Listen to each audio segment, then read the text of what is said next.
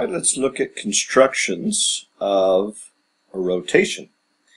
Now, this one of the group is definitely the more involved, but is, I think, the coolest because of that. But we're going to construct a rotation of 165 degrees about point O. So here's point O, here's triangle ABC. 165 is in a clock, uh, counterclockwise direction because it's positive, so it's going to go this way. So here's uh, how I go about doing it. First of all, all points move along an arc. So what I'm going to do is I'm going to mark uh, from O to C, and then I'm going to create its arc. In other words, I know the point C has to move along that 165 degrees. B as well will have to move 165 degrees along its arc. So I also create a nice path for it. Now I only go about halfway around because I'm only going 165, so I only need, you know, about a 180 degree arc there to work with. And then A, uh, I'm going to put my mark point on O and on A, and again create about a 180 degree arc. So what this is represents the paths that each of these are going to take because we know by the characteristics that OA and OA prime will be equal and OB and OB prime will be equal. That's because they're on the arc and the radii of this circle stays the same. Now the next thing is to create the rotation of 165. So to do that we're going to create an angle. So what I'm going to do is I'm going to create kind of an imaginary one side of my angle, O to C. And now I want to rotate that 165 degrees. So I'm going to put down my protractor. Now let's learn how to read a protractor a little bit here. And what I want you to know is sometimes the zero's on the inside, sometimes the zero's on the outside. But if you are on your initial arm and you're creating an angle, always start at zero. Doesn't that make sense? Zero all the way up to 165, way over here somewhere. And what I do is I put a little tick mark where 165 is. Then I lift up and I create the other, the terminal arm of the 165 angle. There it is. Now, there's a lot going on here, so we're like, well, wait a minute, what, where does it go? Now, C, of course, is the middle arc, and so C prime will be right there at 165 degrees. Now we just need to do that three times. Let's do that with B now. So let's create an initial arm for B of our angle. It's got to go 100, oops, well, a little bump there. It's got to go 165 as well. So I'm going to place down, let's place it down on the other way, just so you can see what happens sometimes. So sometimes, take a look what happens. Uh, this time, my, my protractor was placed down in a different way, and notice the 180s on the outside. But this is my initial arm. And so I'm going to start in the inside this time, counting from zero. You always start from zero and count up. And so there it is, 165. And I make a little mark. And I finish by creating the angle through that. So I create my angle from BO to B prime. And it's on the outside ring because, on the outside arc, because that is our angle, uh, BOB prime. Now we got one more to go. We're almost done. To see why this one's a little more involved, there's quite a few steps here. You uh, you have to create these little angles. That's the whole idea of a rotation, though, is to use angles. Uh, so let's put it down.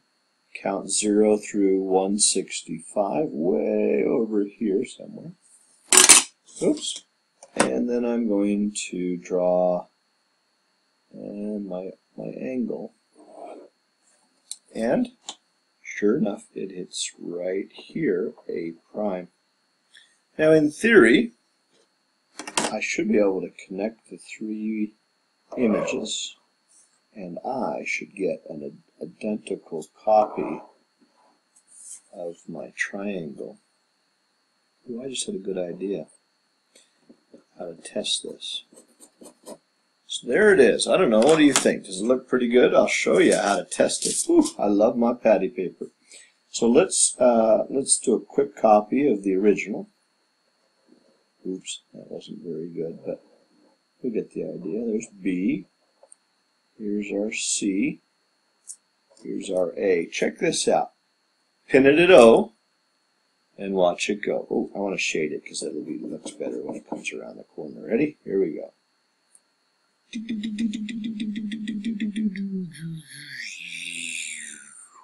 Bonk. Ha ha! I'm amazing. Beautiful. 165 degrees. All right, the next one says do it by patty paper. Thank you. That was just well, way too long. So, here's what we got to do to do it by patty paper. We still need our, our angle. Ooh, wait, this is negative 70. Good practice on this. So things are going to move in a in a clockwise manner 70. So I'm going to put this guy down. My initial arm will move here to 70. And I'm just going to create an angle of 70 degrees. Negative 70, by the way. Now watch how easy this is. And this is why we love patty paper. Um, I'm going to mark my center. mark A, mark B, and mark C. Now, I am going to follow C until, because the angle that I made is from C, so C prime will be this 70 degrees over here. So again, I'm going to pin this and rotate till I land on that 70 degrees right there.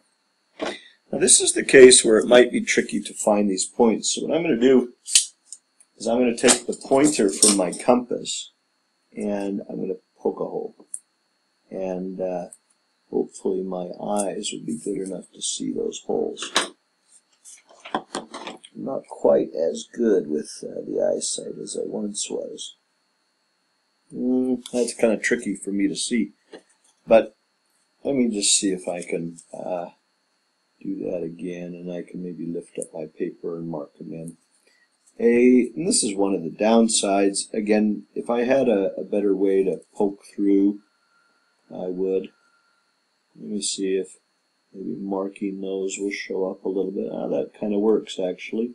By using my felt pen, that's pretty good actually. These are the tricks of the trade. I like to use these fine tipped felt markers and they actually go through nicely. I don't know. Let's see how I did actually. Uh, let's see if using that technique was very effective or not. So I'm going to pin it, turn it. Let's see if I found it. Yeah, I did. Good job. Well done. Now the last thing is to find the O, the center of rotation. This is actually a fun little task as well. This is working backwards through the process, which I think is always good to do. So we have to say to ourselves, where is the center? And how did, you know, how does the center uh, come about? And of course, what we're going to do is we are going to do, um, everything moves, let's go back to here, everything moves upon an arc, and, um, and so there is a distance that's between them that the perpendicular bisector will help us with. Let me show you what I mean by that. So I'm going to connect A and A prime. Those two have to move along the edge of a circle. And so the center of that circle has got to be the same distance from A as, as, as well from A prime. And so we're going to do a perpendicular bisector. So again, this is the same as our midpoint construction. I'm going to create a perpendicular bisector. Now this line represents all points that are the same distance from A and A prime, which is important. But I don't know like is the center there to there, but it's got to be the same center to that can go through B and B prime and C and C prime. So let's create a second perpendicular bisector. Let's say the one from C to C prime. This would tell us the line that represents all points that are the same distance from C and C prime.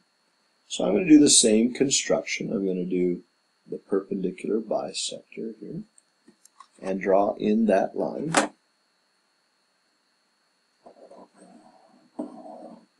Aha!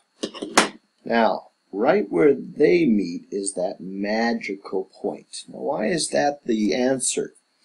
Well, the perpendicular bisector gave me all points that were the same distance from A and A prime, but I also needed a point that was the same distance from C and C prime. So I did two perpendicular bisectors, and they found the center. Now I can see I'm out a little bit here, so I might not be exact, but I should be able to place uh, my pointer on the center and on A, and I should be able to make my arc and it should go through A and A prime, which it did. That's pretty good. I should be able to mark C and C prime, which, see, I'm out a little bit there. I knew I had made a little bit mistake, but I should, but basically I should uh, be able to go through B and B prime as well. So the key is two perpendicular bisectors form the intersection, which is the center of rotation.